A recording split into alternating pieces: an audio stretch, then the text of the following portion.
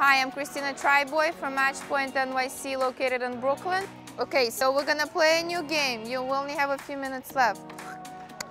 It's called up, back, stay. I'm gonna feed the balls with the basket. There's going to be three balls for everybody. So Milana is gonna start first.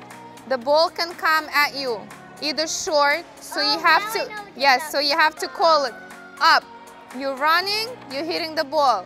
The ball come, can be like a moon ball, so you have to say back. You're gonna back pedal, hit it. Or stay, the ball is going to be relatively close to you.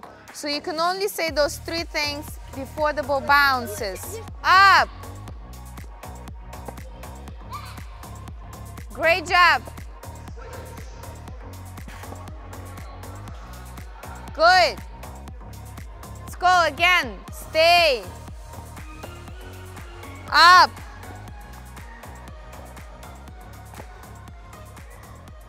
Great job.